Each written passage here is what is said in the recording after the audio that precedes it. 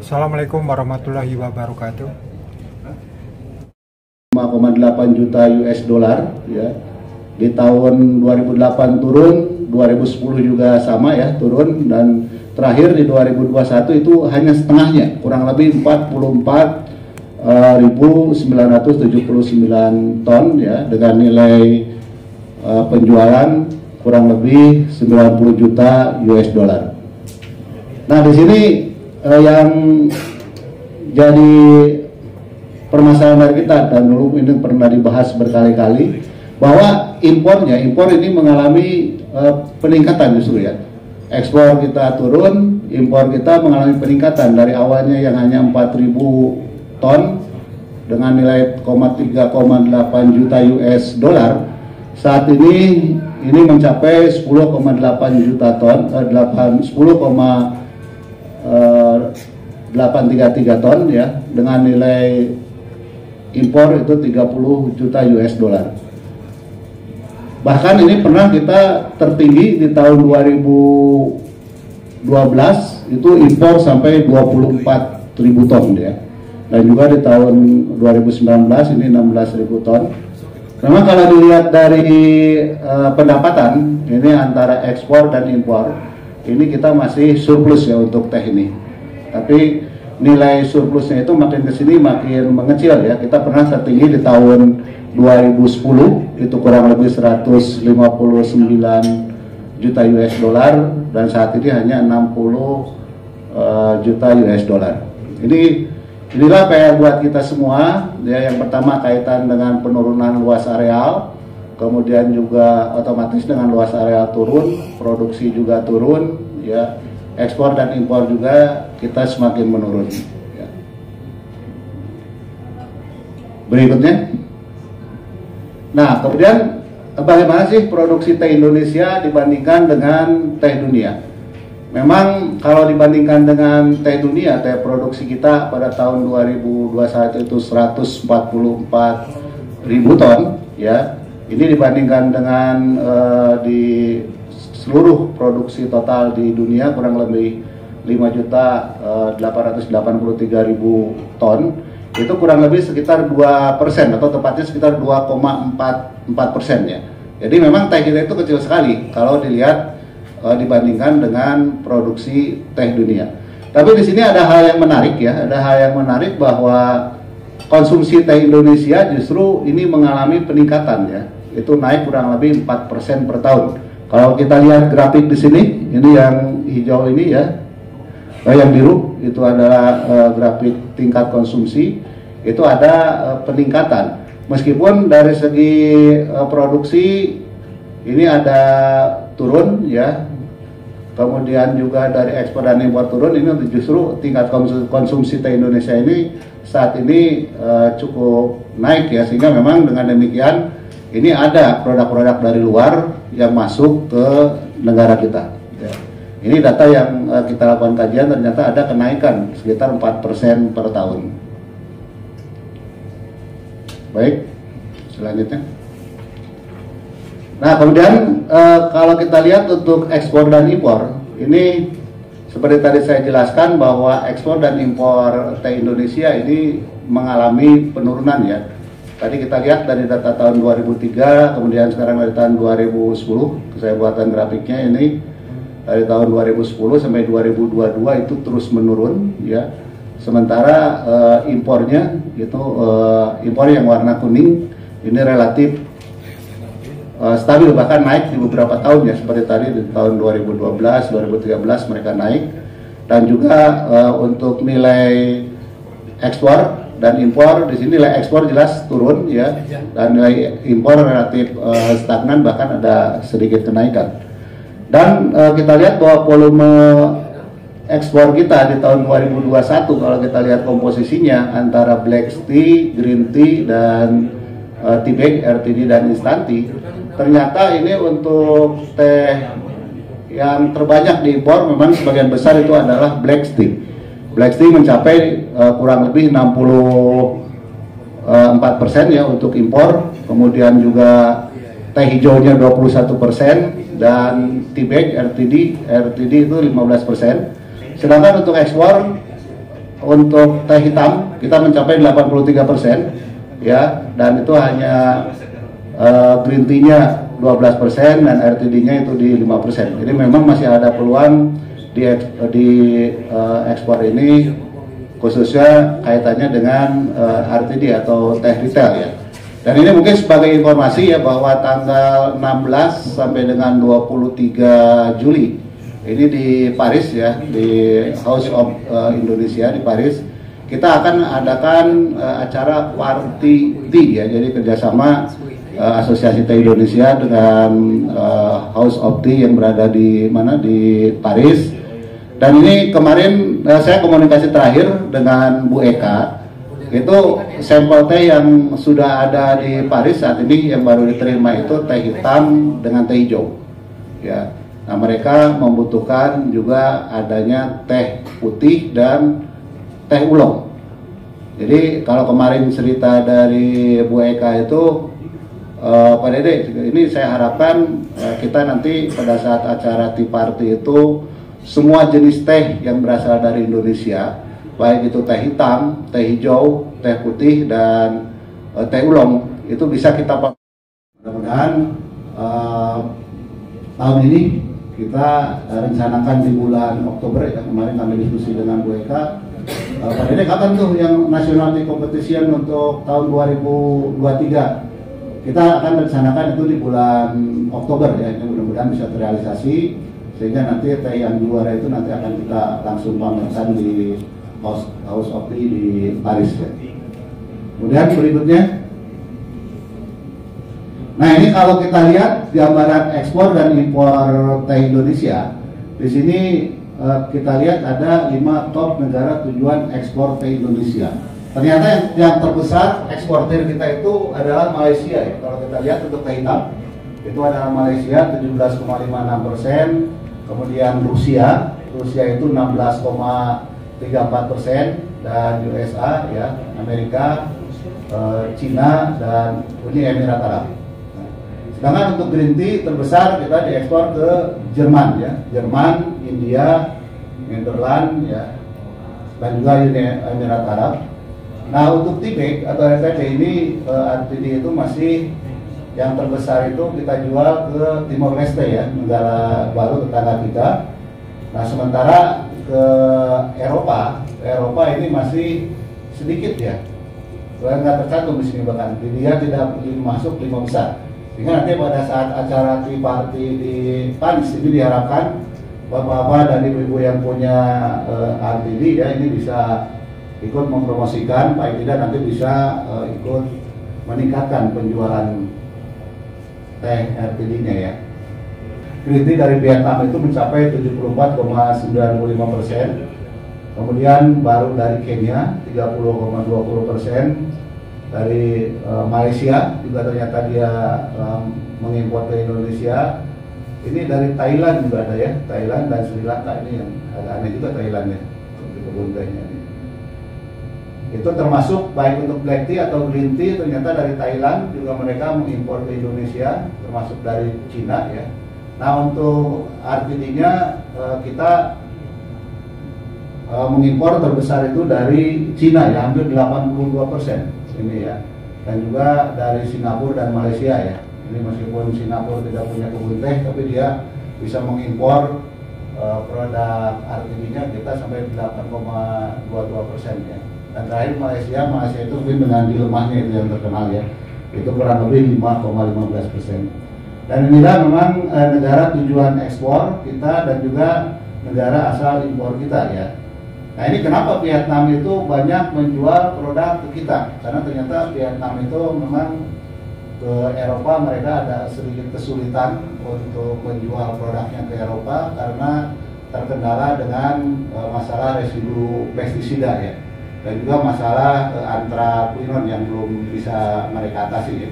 Alhamdulillah kita sudah mulai beberapa perusahaan ya PTPN, PBS sudah bisa mengatasi masalah residu pestisida dan antraquinon ini sehingga nah ini kalau kita lihat untuk konsumsi teh dunia ya memang eh, 10 negara terbesar konsumsi teh di Indonesia itu masih oh, di dunia maaf ini Turki ya, Turki itu mencapai 3,04 kg per tahun per kapita ya, per kapita per tahun. Kemudian Libya di 3,02 ya. Uh, justru kalau negara uh, Eropa, Inggris itu di 1,59 dan tentunya di sini yang Indonesia ini yang masih rendah ya 0,35 persen ya 0,35 persen. Kalau produk uh, Indonesia sekarang 144 ribu ton ya. Jumlah penduduk Indonesia sekarang 270 ya atau lebih mungkin 270 juta ya. Itu kalau eh, tingkat konsumsi teh Indonesia 0,5 saja berarti hampir semua produk kita bisa terserap oleh Indonesia itu sendiri.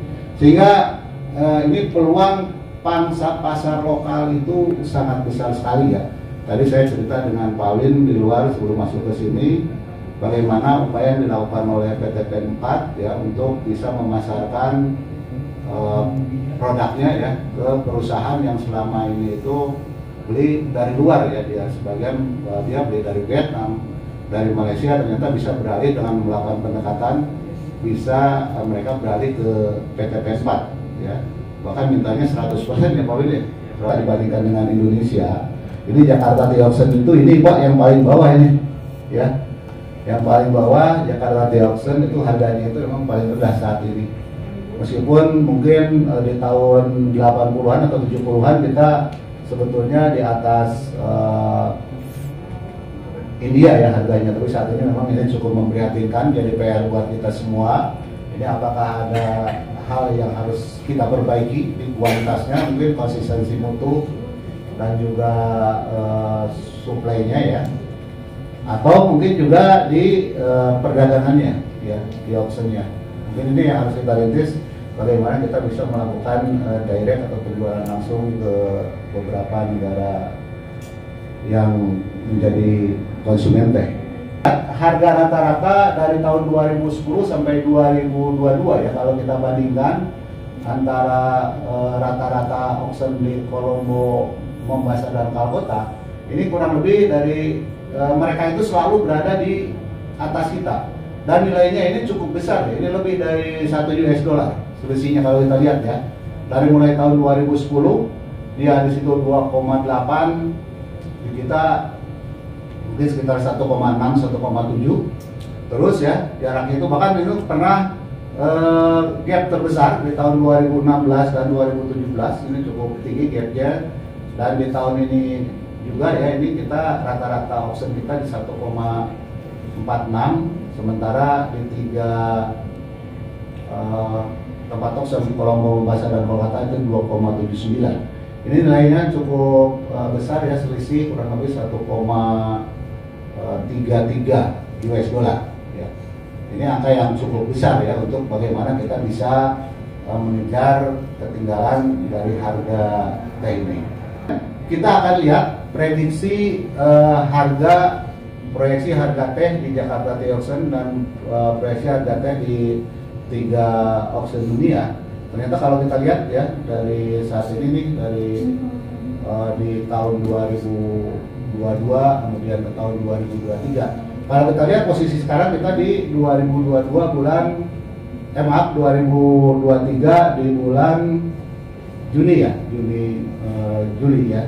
Juli ini relatif harga itu akan uh, tetap uh, stabil ya tidak tidak mengalami kenaikan. Karena memang ini juga dipengaruhi oleh uh, supply and demand ya. Dalam artian uh, sekarang stok teh di dunia juga cukup banyak sehingga harga menekan harga dan harga stabil di angka 1,46 ya tidak dari situ.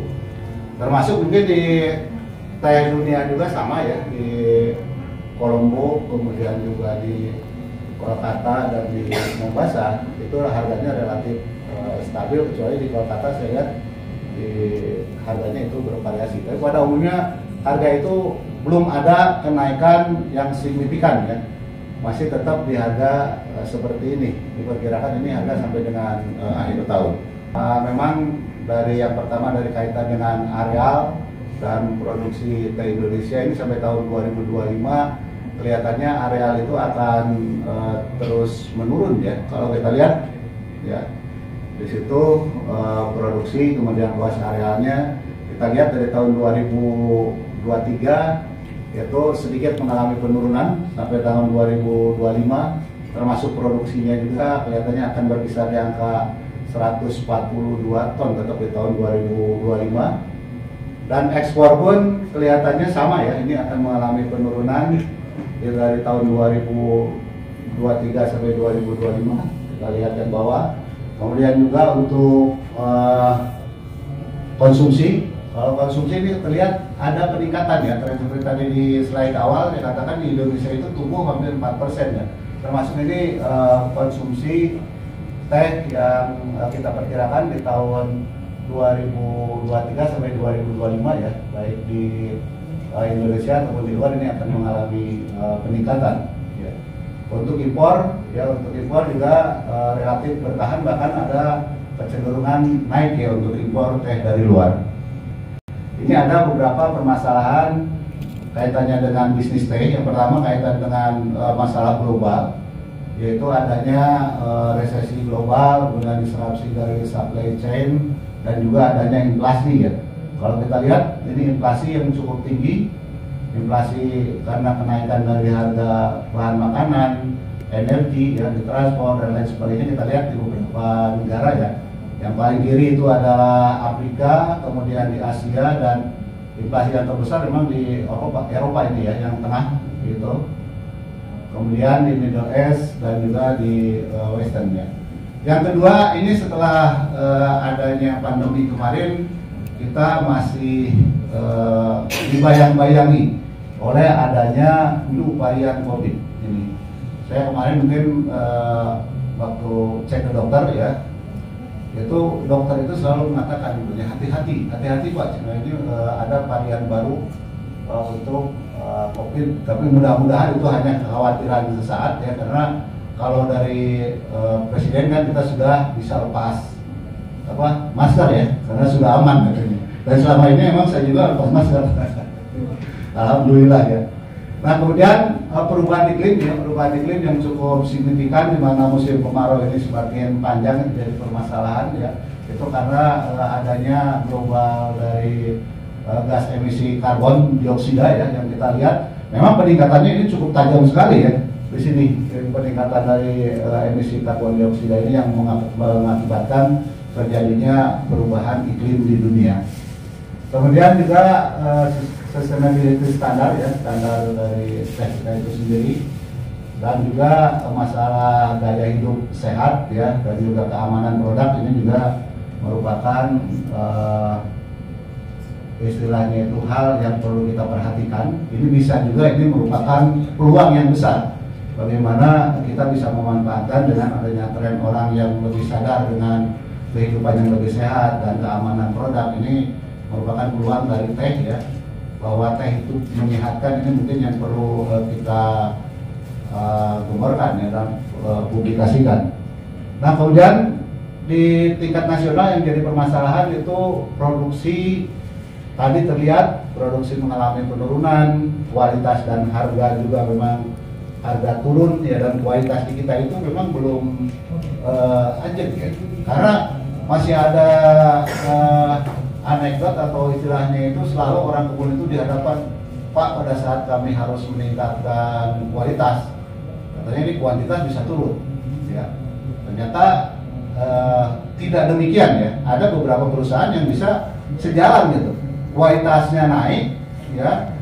Eh, apa para ukur kualitas naik itu dari harga eh, makin meningkat dari stoknya minim dari segi protes juga bisa di atas 3000 inilah yang jadi PR buat uh, kita semua. Bagaimana kita bisa meningkatkan teh secara bersama-sama baik uh, dari segi kualitas ataupun kuantitas. Kemudian juga yang jadi permasalahan yaitu kaitan dengan kelangkaan energi. Ya memang saat ini uh, dulu awalnya uh, ingat ya kita menggunakan bahan bakar uh, IDO ya pada tahun 70 80 kemudian waktu itu bergeser juga pernah ke, ke gas ya pada tahun 90-an kalau nggak salah 90 dan 2000 awal. Gas karena waktu itu harga gas masih murah. Pada zaman Pak Yusuf Kala kalau nggak salah wakil presidennya gas masih murah ternyata setelah uh, kebun teh beralih ke gas ya rupanya harga gas naik signifikan. Akhirnya kita tinggalkan gas kembali uh, menggunakan kayu. Wood pellet itu karena wood pellet itu ternyata diminati juga oleh negara-negara luar yang memang dia membutuhkan untuk uh, pemanasan ya. sekarang yang awalnya wood pellet itu kita mudah ya untuk memperoleh akhirnya saat ini itu kadang-kadang kita kesulitan untuk memperoleh wood pellet ya. Sehingga kemarin uh, waktu saya di PTPN 8 terakhir itu mencoba beralih dari wood pellet ke cangkang sawit. Dan ternyata itu dari kalau dilihat dari kalorinya itu masih memenuhi syarat. Itu mungkin untuk uh, bapak-bapak yang punya pabrik sawit itu bisa memanfaatkan cangkang sawit ya untuk mengganti uh, saya kira cukup uh, bagus itu. Kemudian kelangkaan tenaga kerja memang minat orang untuk bekerja di perkebunan sekarang itu kalah yang bergeser oleh uh, banyaknya pabrik-pabrik yang berdiri. Bahkan sekarang itu uh, anak muda lebih senang bekerja itu di dunia maya ya. Dalam artian mereka bekerja secara online. Dan memang kalau kita lihat di dunia maya itu kalau orang yang berhasil anak muda itu cepat sekali gitu. Dia mendapat uang itu ya. Yang namanya miliaran rupiah itu gampang sekali gitu. Kalau yang berhasil kalau yang gagal ya uh, tetap aja ya konsumsi teh ini budaya konsumsi teh juga yang perlu kita tingkatkan ya bagaimana kita bisa uh, memberikan pemahaman atau pengertian dan juga bahwa teh itu menyehatkan untuk generasi muda kita mulai dari pelajar TK, SD, SMP dan seterusnya ini yang perlu kita uh, yang lainnya itu yang menjadi permasalahan utama itu adalah isu lahan. Lahan itu yang yang selalu jadi uh, permasalahan di beberapa perusahaan ya baik di perkebunan besar swasta atau di PTPN mungkin adanya uh, penjarahan ya dari masyarakat sekitar yang mereka membutuhkan lahan untuk penanaman hortikultur dan lain sebagainya. Adanya alih fungsi dari kebun teh ke perumahan atau ke lainnya inilah yang menjadi permasalahan di kita. Dan juga uh, kurangnya atau ketidakseimbangan penerima manfaat dari uh, sendiri dan juga lemahnya sistem pemasaran teh. Ini yang yang memang di uh, Asosiasi Teh Indonesia bahkan di DTI ya. Kita pernah mengadakan rapat untuk membahas ini. Mungkin kalau mereka ada beberapa waktu yang hadir ya termasuk Pak Win hadir juga ya beberapa di Jakarta dua hari membahas bagaimana mekanisme pemasaran yang terbaik yang harus dilakukan. Untuk